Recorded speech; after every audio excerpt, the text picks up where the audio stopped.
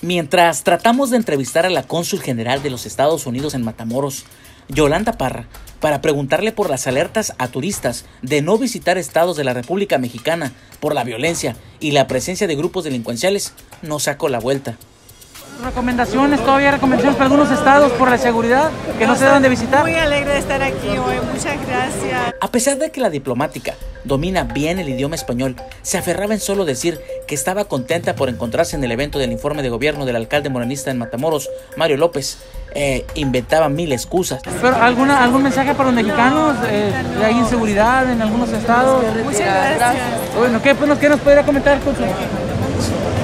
Ante nuestra insistencia, la cónsul, alérgica a la prensa, nos evadía. Incluso dos de sus guardaespaldas obstruyeron nuestra labor periodística. Yolanda Parra, aunque en sus boletines de prensa afirma estar cerca de la comunidad, está lejos de los mexicanos para informar, también de la prensa que la cuestiona, pero cerca, muy cerca de los guaruras que están a sus órdenes y que le abren paso entre los reporteros.